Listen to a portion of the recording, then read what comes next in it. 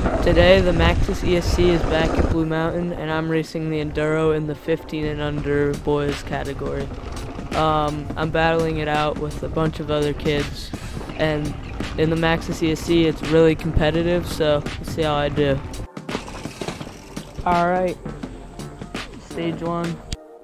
Stage one, as you'll see, it's one of the longer stages at Blue Mountain, and it's the one in yellow here, and it goes all the way down the mountain. Really pedally, and it's pretty long.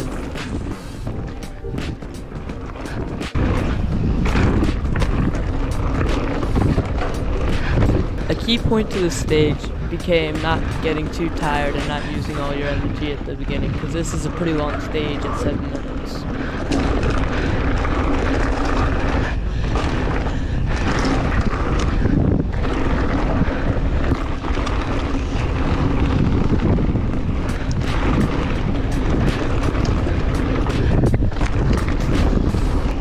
Taking this corner was important because it was so sharp and flat.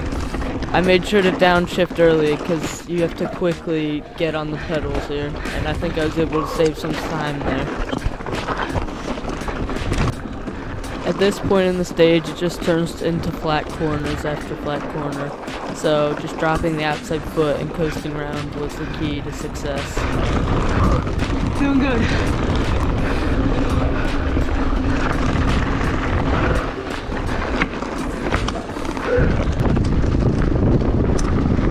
Pass on the right.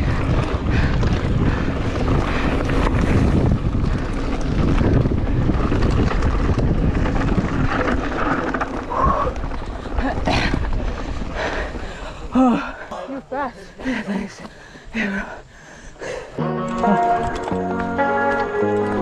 How you doing? How'd you do on one? Uh, I did alright. The first turn's Yeah. For stage two, it was one of Blue Mountain's cross-country trails, and the transfer was pretty steep, so I decided to walk. You can see here and it was really flat, which made it interesting, but also really difficult.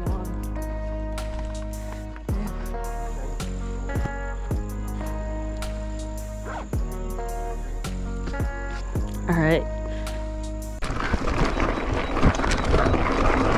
The bike I'm riding is a 2016 Giant Reign. It has 160 millimeters of travel front and rear, and I think it was a decent choice for this event.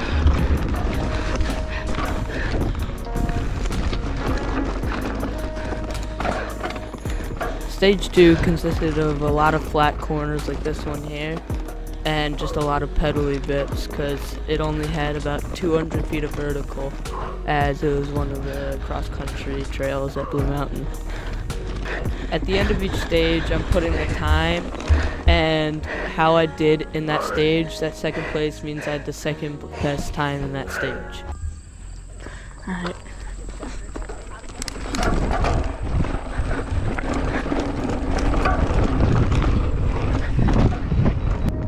Stage 3 consisted of El Camino, which is a blue jump trail, and Miles of Smiles, which is a black tech trail.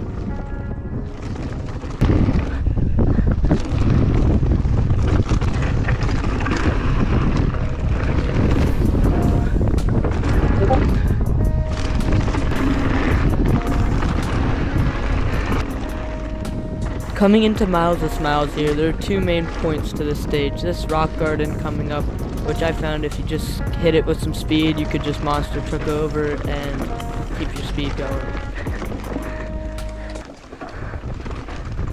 The other part here is this loam downhill, which had a really flat and tight corner at the end, which you had to be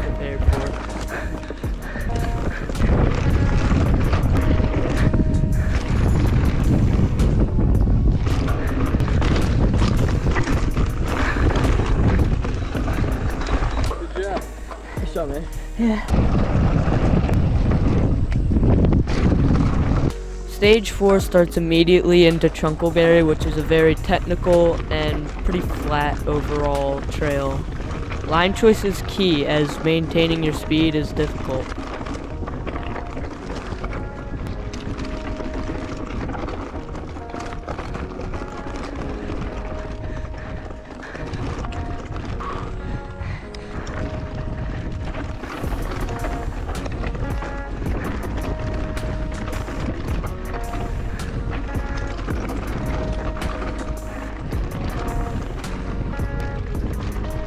After that, the stage continues along blue flow trails until the end.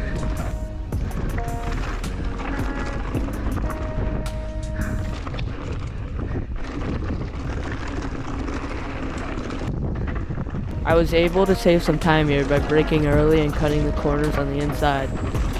All right, good job.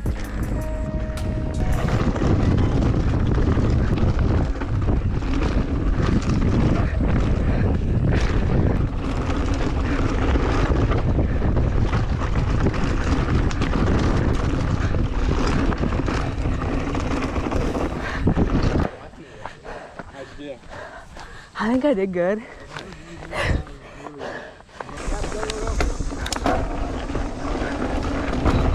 Stage 5 is the last stage, but it's also the shortest.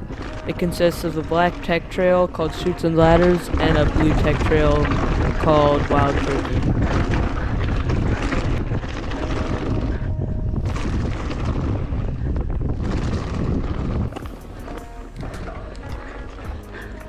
This rock garden here was slow, so keeping your speed was key.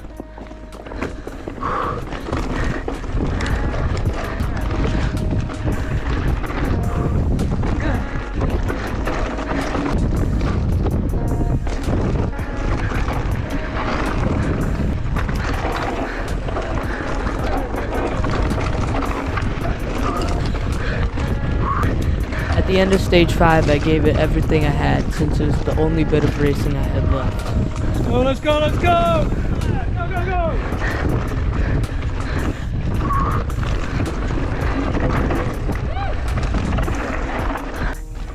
Overall, I ended up getting second, which I became really excited for. If you want to see the full results though, I'll leave a link in the description.